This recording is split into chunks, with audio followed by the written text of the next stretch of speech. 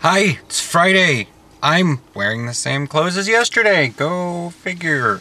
Still haven't got used to the laundry thing. Anyways, uh, it's coffee shop time and I'm out here in a place area called Garden Home.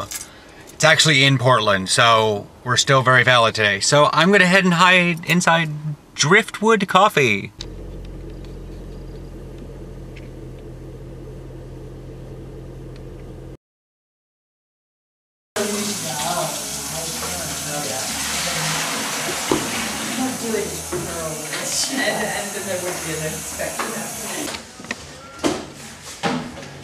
See you around. Thank you. We'll see you next time around. So yeah, the mocha's really good. I think they have Louisiana coffee. I can't necessarily tell. It says they have pies and pastries from Petunias. That's a funky font. I can barely read it.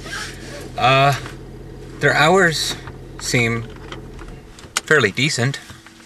I wish I could tell. It's going bad my age, but yeah. And if anything, they're open till like four or five. It's 1.30, and if coffee shop's open at 1.30, it's probably gonna be open till like after lunch, or I mean after dinner, or something like that. You know, some of the ones downtown Portland, like if I get down there at 1.30, nothing. Anyways, the lady was really friendly. She owns the place. She calls this, she called it like her bucket list. You know, own a coffee shop. Or mine was playing football. It's not the only thing on my bucket list. I just, yeah. Anyways, link below, you know, yada yada. This place is really nice. There's an ingress portal on top of it, like there is on most coffee shops.